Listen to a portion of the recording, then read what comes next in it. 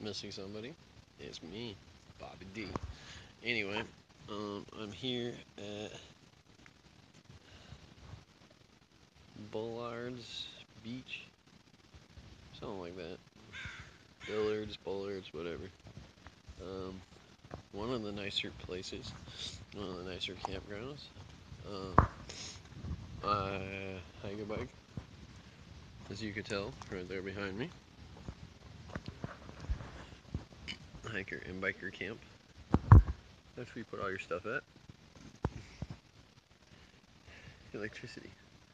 But see, I'm not going to plug into the electricity. You know why? Let me show you why. This is one of the cooler things I've ever seen in my life. Yeah.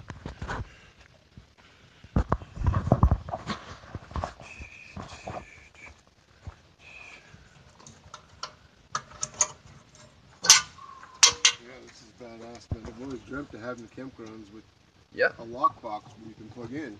Yeah, I've never. I mean, I've seen a couple hostels, but yeah, hostel is the last place on earth I'd ever put my money at.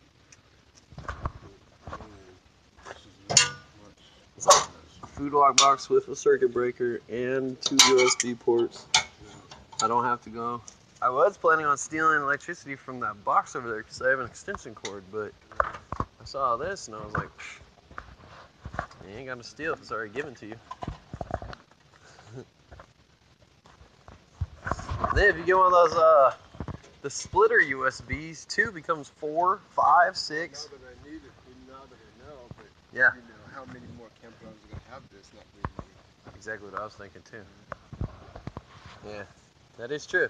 Like, what if this is the only one and we go out and buy those splitters for nothing? I'll see how many more. This has got to be maybe good for a solar panel.